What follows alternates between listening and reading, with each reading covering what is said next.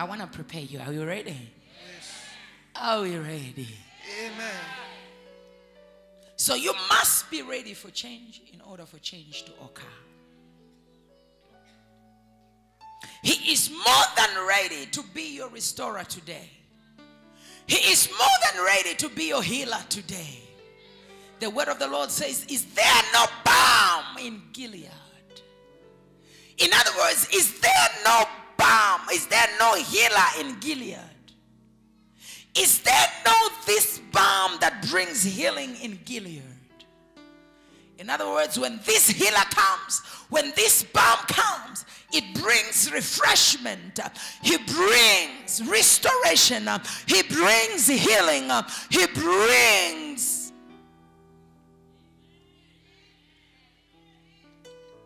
anything that you desire. Amen. And guess what? This healer does not just come for the sick, he comes for the brokenhearted. He comes for those who are dead. He even has the capacity, he even has the power, he even has the ability to go and visit the dead in the tomb, like Lazarus. Amen. And when this balm of Gilead comes upon you, there is no sickness, there is no death that he cannot be able to resurrect. Amen.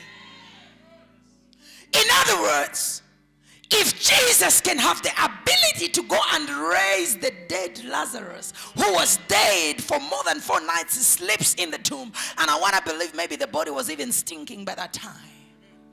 So you might be that kind of a person who has gone through so much shame, so much rejection.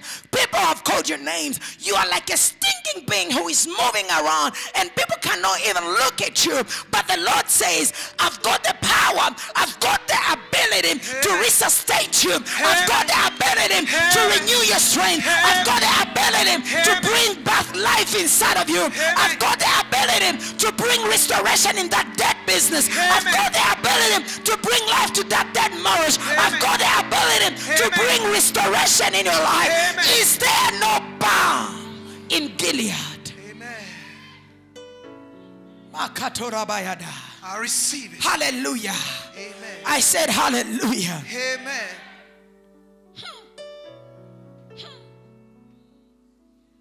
Hallelujah. I said hallelujah. Amen. Shake somebody and tell them, my neighbor, My neighbor, my God is here my God is here to change my life. to change my life. To change my life. To change my life. To change my life. To change my life. To change my life. To change my life. Hallelujah. Amen. I said hallelujah.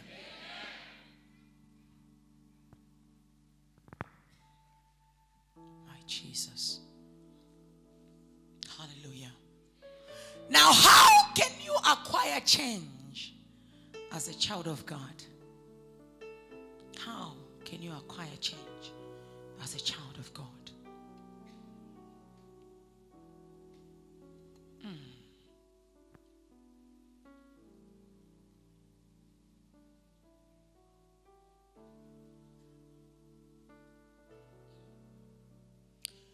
I want you to understand that the has a process of impacting the world. It has a process. There are means and words on how the kingdom of God impacts the world, and you are the kingdom. Hallelujah. I said, Hallelujah.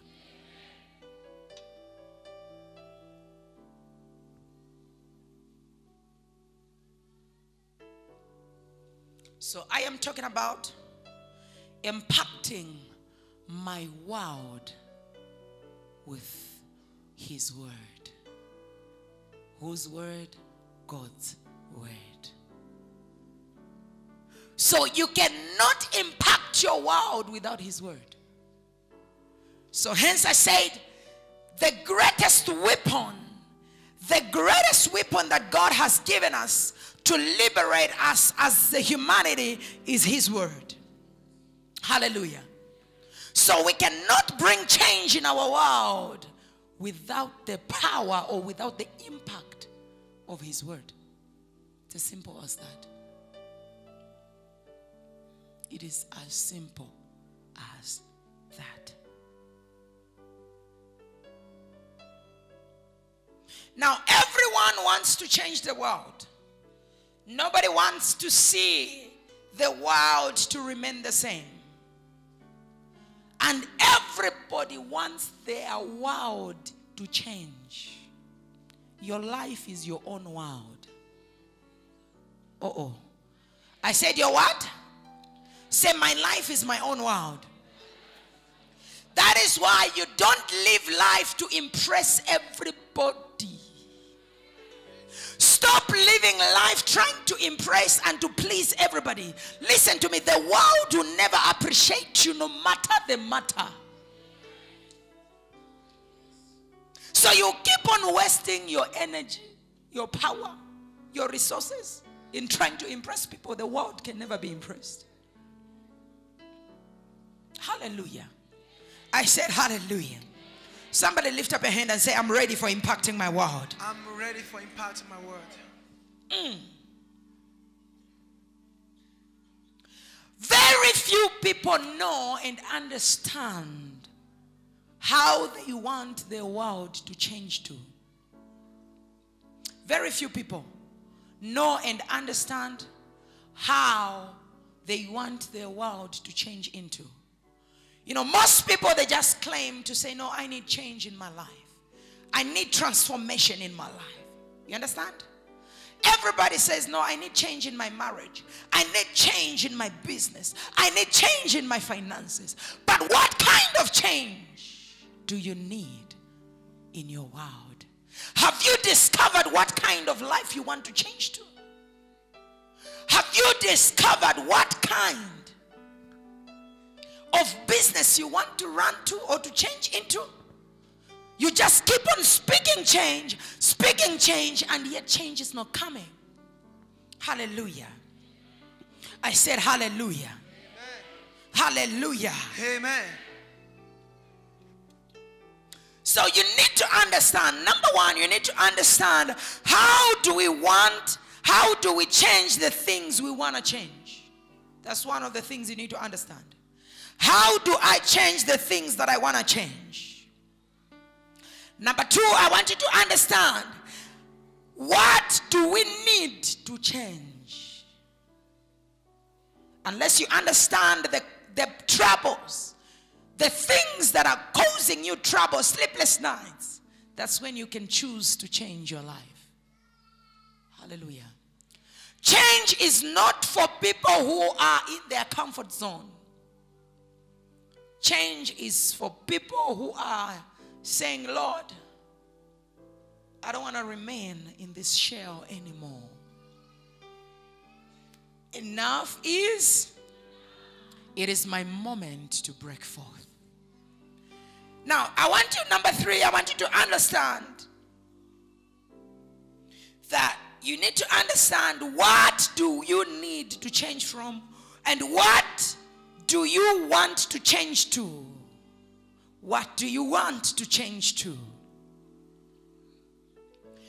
And clear, I mean, true change needs a clear destiny. True change needs a clear destiny. What do I mean? True change requires you to know your next destination. In other words, you cannot just burn bridges. You cannot just insult people that have been there for you, not knowing who's going to be there next after that. So, true change, it needs a destination. In other words, it needs a clear destination. It needs you to know where you are changing your life to. Before you burn bridges, before you insult people who have been there for you, before you begin to call names the people who have supported you, before you think about that change, know exactly your destiny of your settlement. Many people are too quick in making decisions permanent decisions out of temporary situations. So shake somebody said, do not make permanent decision Do not make permanent decision out of your temporary situation. out of your temporal decision. Do not just make decisions anyhow. Make decision anyhow. And that's what has costed a lot of us. You just want to cut off relationships. You just want to quit certain things. And at the end of the day, you end up living in regrets. Not knowing what you did. Regretting, oh, why did I say that? What did I do this and that? Hallelujah. So sh- tell somebody next to you, tell them, say, neighbor, Neighbor, neighbor, neighbor, do not burn bridges. do not burn bridges. Say, be sure Be sure and be certain and be certain of your destiny. of your destiny. And I want you to understand this important point is a change demands change. Only the wise will get that one. Change demands change. In other words, you cannot be a partaker of the benefits of change if you're not ready to change. Change demands. Change demands. Change demands. Change demands change. Now, sometimes we have failed to change simply because we have omitted a few things in our lives. Now, in a journey to your destiny, there are things that we need to do as a child of God in order for you to impact your world effectively. I receive. Am I talking to somebody? Oh, yes. Hallelujah. Amen. I said hallelujah. Amen.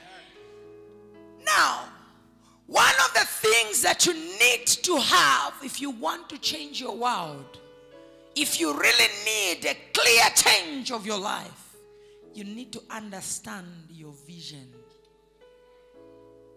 You need to do what? That is one of the things that most believers they have omitted in their lives. They just want the man of God to come and declare every Sunday, God bless you, amen. Receive it, amen. Receive it, I receive it. What are you receiving without a vision? What are you receiving without understanding what you are receiving?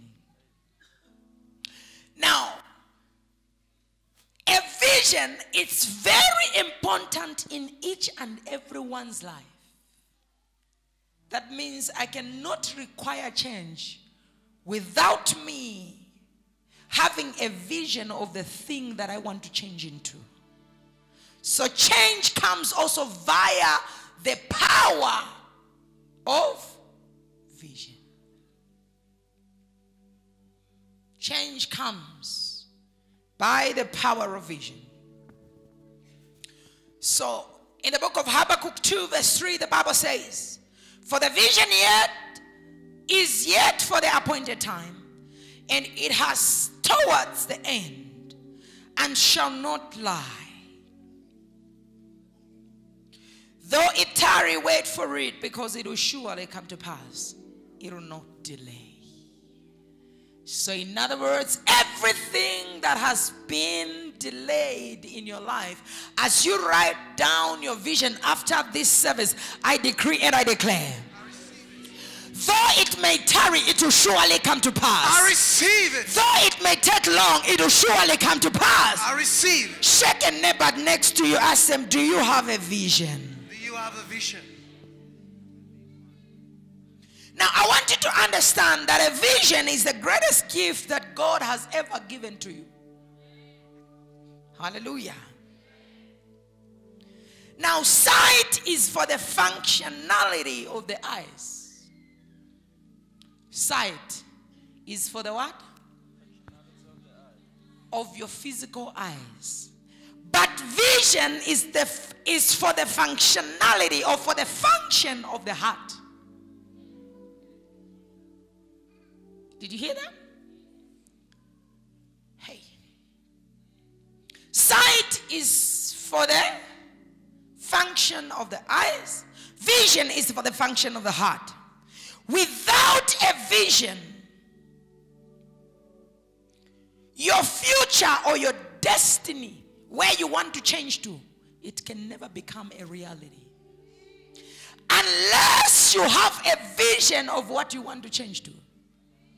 No, I want my marriage to change. How do you want it to change? What do you want it to change to?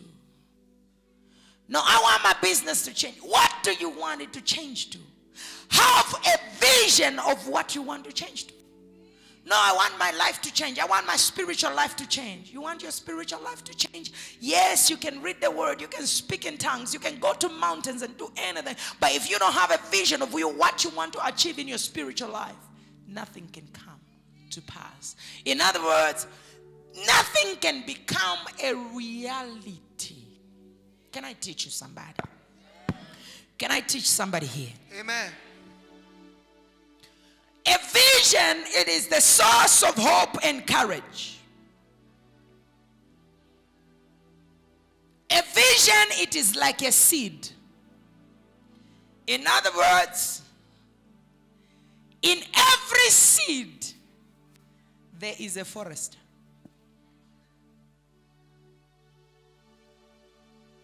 In every what? There is a what?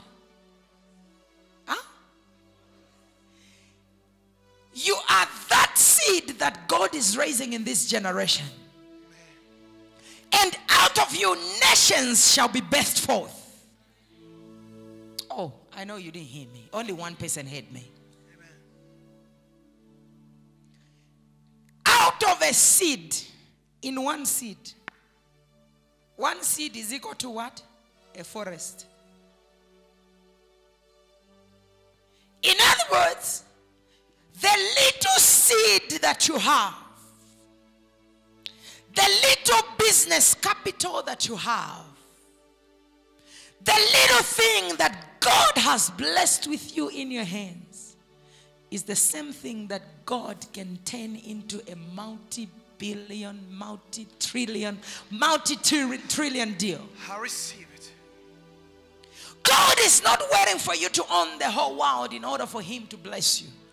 He's waiting for the little thing that He has deposited in you in order for you to make use of it, and He's going to multiply it. Shake somebody, say, neighbor. Neighbor. Shake somebody, say, neighbor. Neighbor. God is not waiting for your everything. God is not waiting for your everything. God is waiting for the little that you have. God is waiting for the little that you have. Choose to change. Choose to change. Impact your world with change. Impact your world with change. Amen. Am I talking to somebody? Amen. I said, Am I talking to somebody? Amen. Am I talking to somebody? Amen. And I said, Vision is the source of what? Hope and courage. Vision is a source of hope and courage. Without a vision, the man of God can keep on prophesying to you, can keep on declaring things to you, and you see them not coming to pass, not because the anointing was fake, but because there was no platform where the prophecy could go and grow and bring change in your life.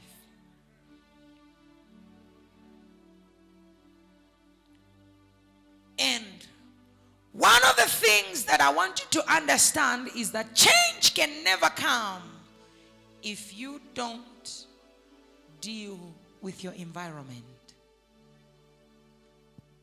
Shake somebody, say your environment matters. I said, shake somebody, say your environment matters. Shake somebody, say your environment matters. Environment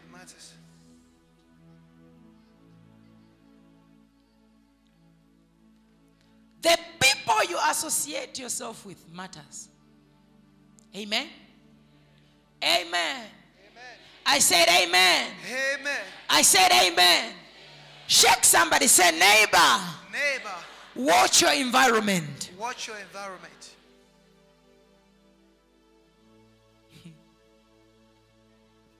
Makato. Watch your environment.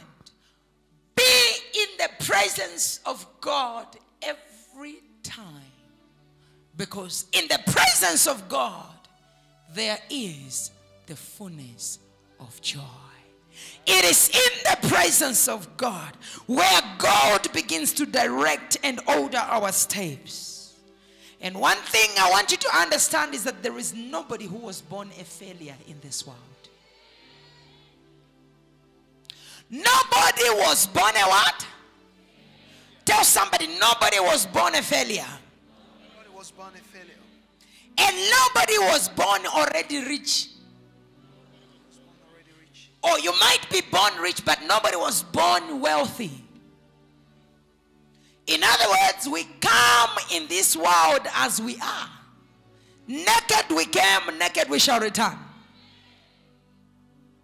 In other words, there is no speciality for specific people. Oh. I know my church maybe has moved that side. I'm going to move to them. Amen. This side, they are bishops. Hallelujah. I said, Hallelujah. Amen. People without vision, they perish. People without what? What happens? What happens? Ask your neighbor, do you have a vision? Do you have a vision? Ask your neighbor, do you need change in your life? Change in your life. Do you need change in your life? Do you need change in your life? Ah, maybe you're asking a wrong neighbor. Talk to somebody else. Do you need change in your life? Ask them, do you need change in your life? Do you need change in your life? Do you need it? How many people are saying, I want to impact my world with change? Say, I want to impact my world with change. I want to talk to somebody who says, I want to impact my world with change. I want to impact my world with change. Now, if you want to impact your world with change, hmm, you need to know that moving brings pain. Oh. Moving does what? Moving does what? Brings pain. Moving on in life, it brings pain. Sometimes it's not easy to let go of certain things. Sometimes it's not easy to let go of certain relationships. Sometimes it's not easy to let go of certain people around your life. So moving on comes with pain. Moving on comes with brokenness. So sometimes you might be going through that pain, that brokenness, not because God has neglected you, but because He's right close to you and He wants you to move on. Because if you never felt that pain, if you never felt that shoe pinching you, you couldn't have taken off that shoe. Power. And nobody will feel the pain of your shoe except yourself. Nobody feels where the shoe is uncomfortable except myself. And nobody can come and take it off on my behalf. It is the decision that I need to make as an individual to take it off. Uh oh. Do I still have bishops here?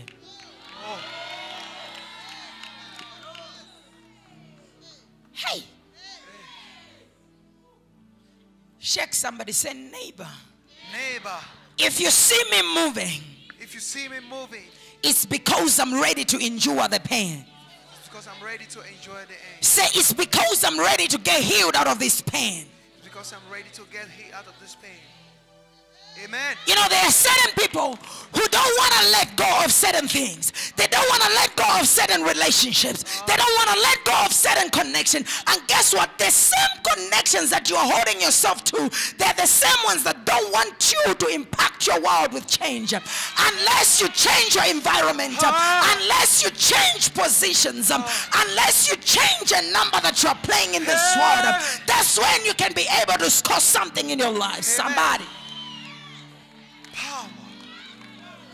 There are certain connections that don't add any value in your life. Oh, yes. There are certain connections that don't add value to your life. Oh, yes. They only devalue your life. There are certain places um, that don't add value to your life. Ah. You need to watch your environment. um, Oh, yes. You need to watch the people around you. Oh. You need to watch somebody. Who is David? David, David, David. David, David, David. Is it Daniel, David? Daniel, David, Daniel, David, Daniel, David, Daniel, David, Daniel, David, Daniel, David. Prakado shanta. Power. Daniel? Daniel? Daniel? Daniel, okay, wait, I'm coming to you. There's something that is troubling me about this guy. Major mom. Listen, David, you, your miracle has already come. All I can hear is that your testimony is guaranteed. I receive. I receive. I The God of Prophet DD will visit you. receive. I receive. The God of Holy Ghost Embassy will visit you. I receive it. I receive it. Jesus. Jesus. I receive it. Jesus' name. There's so much grace of finances coming upon your life. I receive it in Jesus' name. I receive. Shake somebody, say, neighbor, Neighbor. if you see me neglecting you, if you see me cutting you off, see me cutting you off. it means you don't add value to my life. It means you don't add value to And together we can go forward. Together we can go forward. So I need to let go of you uh, in order for me to move forward. Um, I need to let go of certain people. I need to let go of certain relationships. Um, I need to let go of certain family members. Um, I need to let go of certain places um, in order for me um, to get to a place um, where God has promised me. Um, I need to let go of certain things in order for me to get the things that the Lord has put in store for me. Ah. Hey! Major. Hey! Daniel. Matakatara baba baba. I receive it.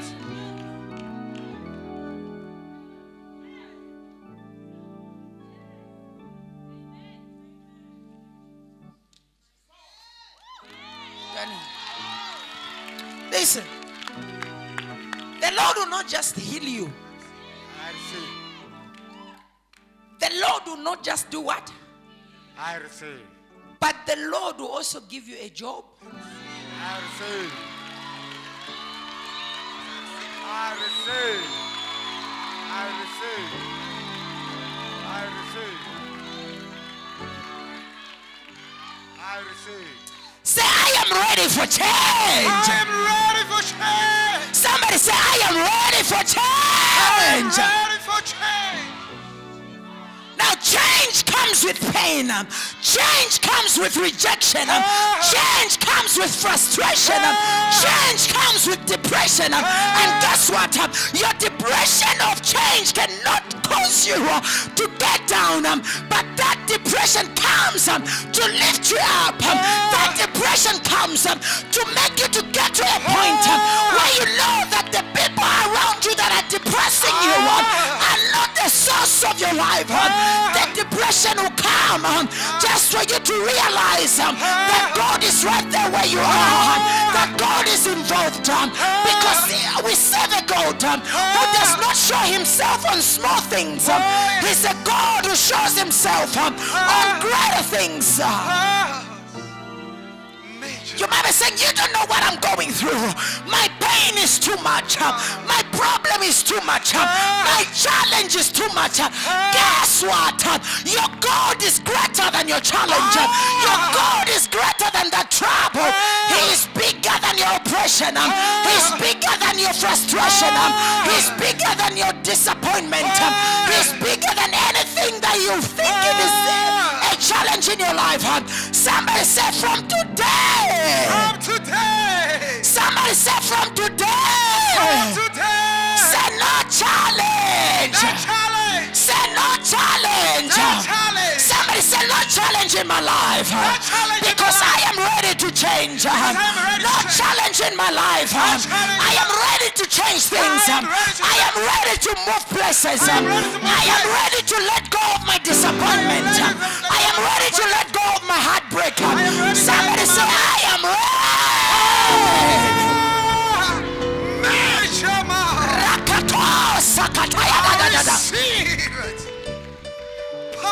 Jesus. That's my boss.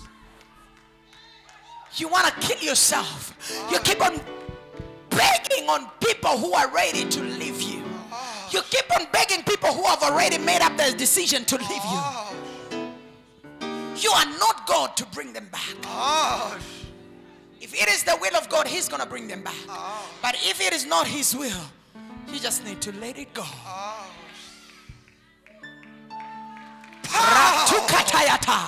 Major mom.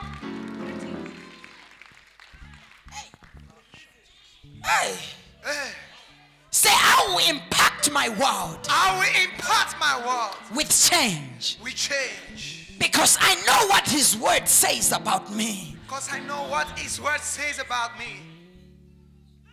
I receive. Listen, many other times,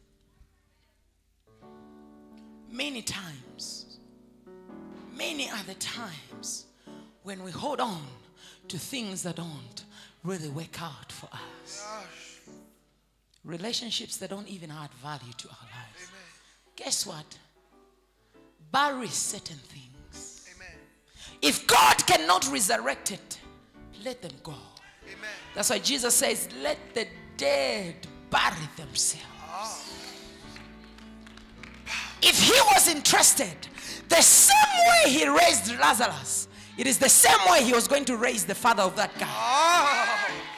But it got to a point where he said, Let the dead bury themselves. In other words, let dead situations bury themselves. Let dead relationships bury themselves. Amen. You can't keep on investing in something where you cannot produce. You cannot keep on investing in things that don't bring profit over your life. Oh. Somebody say, No anymore. Not anymore. Somebody say, Not anymore. Not anymore. Somebody say, Not anymore. Not anymore. Somebody say, Not anymore. Not anymore. anymore. Somebody say,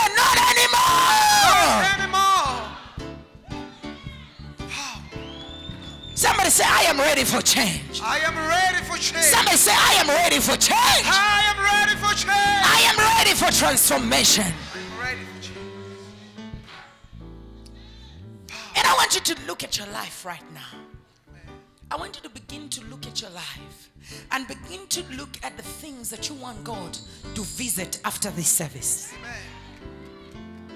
Listen, when we come to a church service, it is a service of your spirit, your soul, and your body. The same way you take your car for service after it has overworked is the same way God brings you into the service every Sunday so that He renews your strength, so that He renews your life. Amen.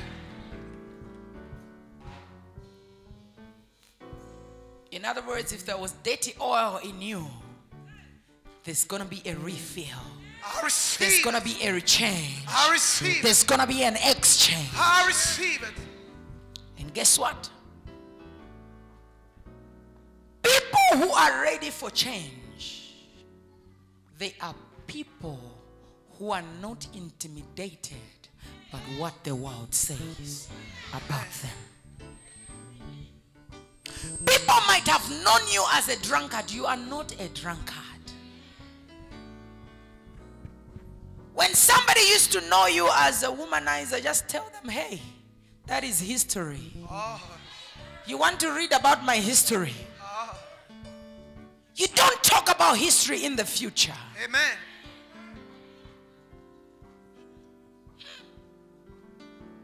People might have looked you as a failure. You're not a failure. Amen.